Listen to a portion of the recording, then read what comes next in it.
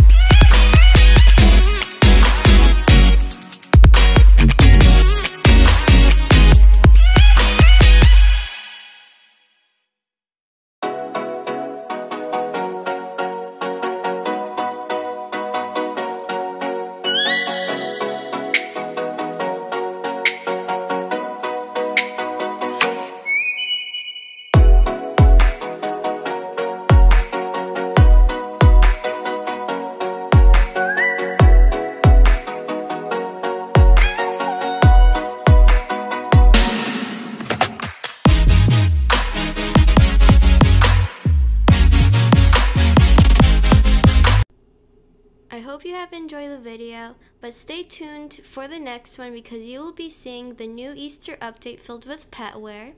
And you could also collect eggs, which we'll be watching, and the brand new Easter update with the new stand. Goodbye, everyone.